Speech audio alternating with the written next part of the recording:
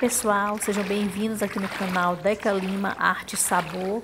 Meu nome é Andréa, como sou parnaibana, quero compartilhar com vocês que também são de Parnaíba, que de repente moram em outros estados, que moram até fora do país, fora do Brasil, para vocês verem como está a Lagoa do Portinho. Olhem só.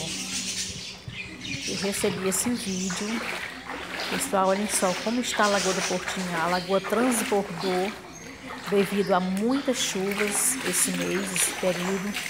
Então está assim, ó, essa área do, do restaurante está totalmente invadida pela água.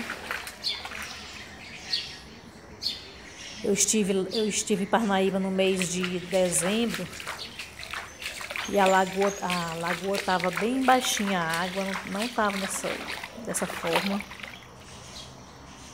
Mas eu creio que, com fé em Deus, logo vai voltar ao normal.